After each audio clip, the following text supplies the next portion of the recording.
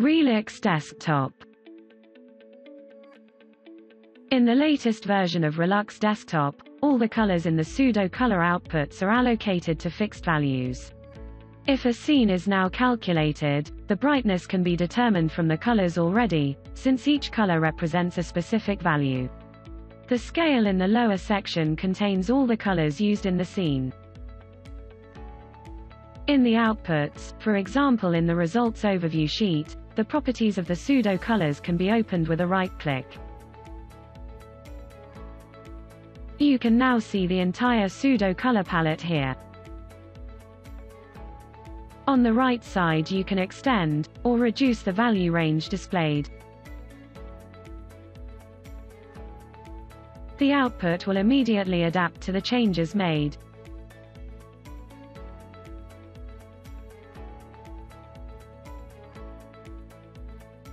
Further user-specific variants can be compiled, and the colors and values adjusted.